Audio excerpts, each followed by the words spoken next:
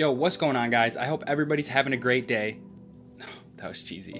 All right, so I have five tips I want to share with you guys today on how you can go from coffee getter to full time moneymaker.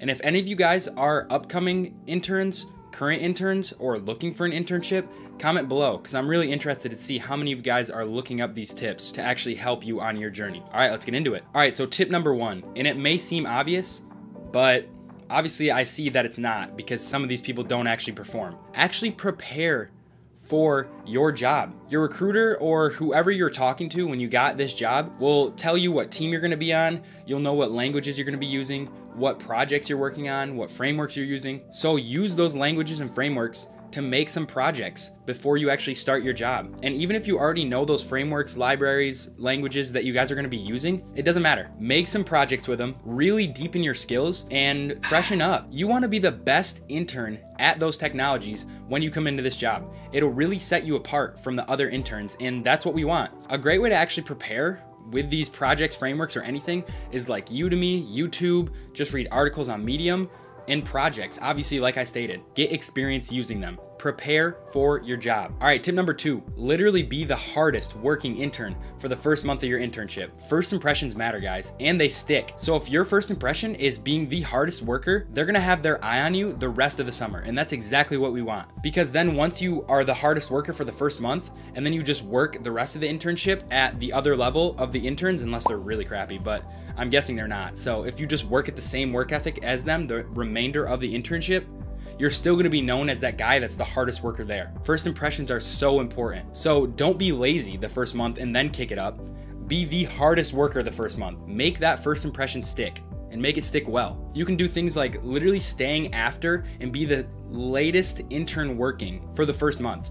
And that doesn't mean just working or doing YouTube videos or, you know, doing nothing just to be there late. Actually be working on the projects that you are assigned to work on and work on them well. Get your work done, get it done even before they're due, and then do more work. Go above and beyond. That first month is so important to your success on going from intern to full time. And also, on the topic of first impressions, the first day you're there, go introduce yourself to people, introduce yourself to some of the full time guys, have some good conversations. And a great way to do this is get them to talk about themselves more than you talk about yourself people love talking about themselves. So going and talking to them and asking them questions about their job, their life, what they do for fun, all of their hobbies, do that with a few of the full-time guys, they'll absolutely love you. People eat that shit up. Don't be a shy intern like the rest of the interns that are probably gonna come in and not really talk to anybody. Go around, introduce yourself to the other interns, introduce yourself to the full-time people, make them talk about themselves, build some relationships. You'll be golden. Your first day, you'll be known as the guy that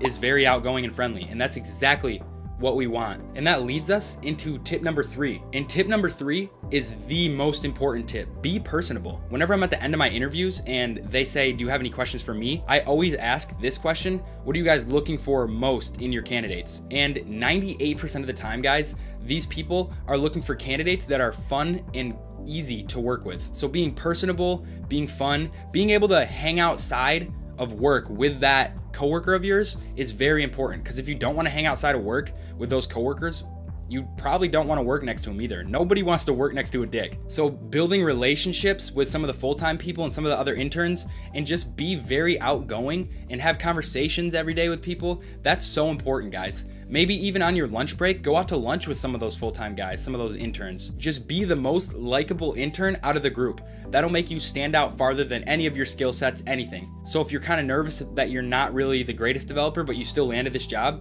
that's fine because if you are the most personable and fun intern there is, they're gonna pick you over the hardest working intern if he doesn't have a personality like yours. Personality is very important. And if you guys aren't good with conversations, aren't outgoing, that's fine. You ever heard of fake it till you make it? I'll link some YouTube videos down below, guys, on how to have conversations, how to be outgoing, how to be more fun, how to not be boring. All those things are gonna help you and lead you to your success from intern to full time. Again, I just wanna reiterate this is the most important tip I have for you guys being a personable intern an impersonable employee. It's harder to fire an employee than hire him. So nobody wants to hire a guy that they don't know for sure about their work ethic.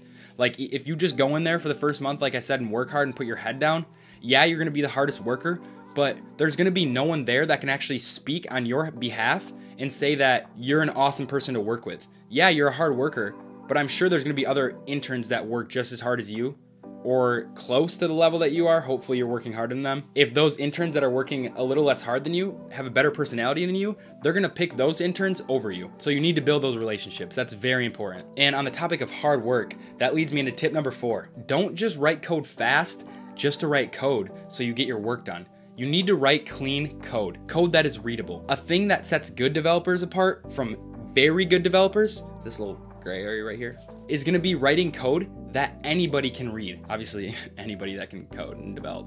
But that should be your goal. Writing code that is so readable and clean. Yeah, cool. You show off that you can do some really advanced stuff, but if it's not readable, no one wants that. Because in four months, when another employee gets hired and they have to work on the code base and say they have to work on some of the things you worked on, if it's not readable and it's not really easy to understand, there's not comments saying what's going on, they're probably gonna break something. And it'll take a lot more time refactoring the code and fixing what you messed up than actually just going in there there and working on your really readable code. You need to treat your code like a little baby.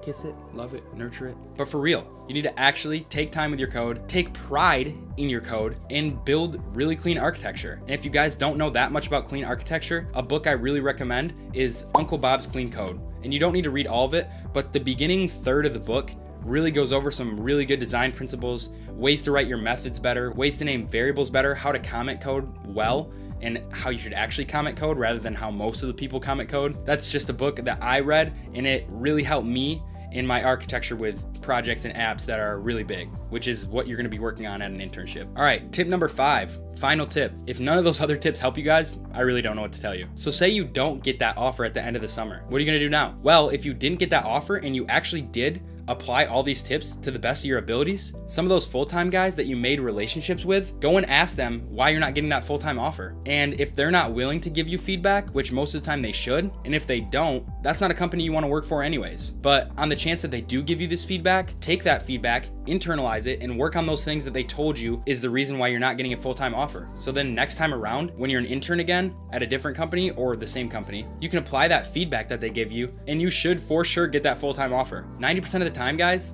if you actually apply these tips, you're going to get the full-time offer. And I know all of you guys are students and you're busy with projects and obviously with internships, the end of the semester is coming up and you have a lot of things to do, papers to write, projects to make, exams to study for. And if you're one of those people that's like, oh, I don't have time to do all these tips and prepare and all of this stuff, then you might as well unwatch this video. Because if you're not willing to put in the work to get the full-time offer, you're not gonna get the full-time offer. It's that simple. You need to be a hard worker in the industry. And if you're not willing to be a hard worker, I don't know what to tell you. A lot of the times we have to go above and beyond. There are so many developers out there that you're competing with to get these full-time jobs. You need to be a guy that works as hard as he can to get to his goals, guy or girl, to get to his or her goals and reach those levels that you set for yourself. And I know we all have free time in the day, regardless of how busy you are. So put in the effort to actually prepare, study, research all these technologies and apply all these tips to get your full time job. And it'll be worth it once it's over. Because obviously, why you're serving this internship is because you want a job. So put in the work. That basically wraps it up for all the tips I have for you guys. But if you did enjoy this video, please hit that like button and subscribe and help me build this community so we can help more people out and we can build a family. Let's build a family together. All right, peace out, guys.